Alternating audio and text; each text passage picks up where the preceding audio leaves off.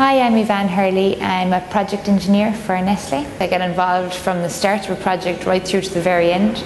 And for us, a project is um, a new line to make a new product, or sometimes it's quite it's a bit smaller, a small improvement or change on a line for a slightly different flavour or slightly different packaging on a product.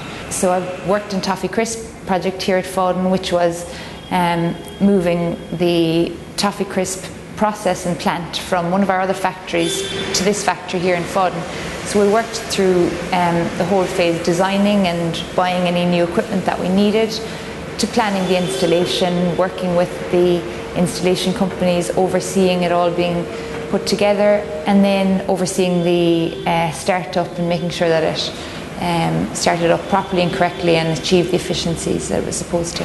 In the food industry, engineers are involved in so many ways that you probably don't even imagine when you go into the shop.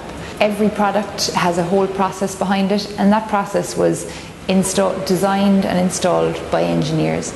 Also, in the food industry at, the moment, is I guess in every industry, energy is becoming hugely important, and conserving energy and using as little as we can is very important. And engineers play a huge role in trying to make our processes more energy efficient and think up different ways that we can do things and using better equipment.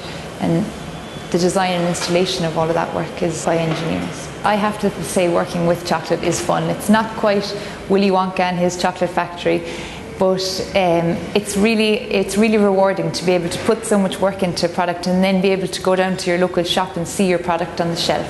And it's something that people enjoy and love and you to be able to have a part in that is great. I suppose i became first interested in engineering when i started to put it together in my mind the subjects that i always enjoyed in school maths. I always liked science particularly as i got older and i studied physics and chemistry. I really enjoyed those. And then i but I wasn't sure what I wanted or where I wanted to work. So engineering seemed like a really logical option because once you have an engineering qualification, you can work anywhere in the world in such a huge range of industries, a huge range of businesses, um, that it gave me flexibility to do whatever I wanted in the future.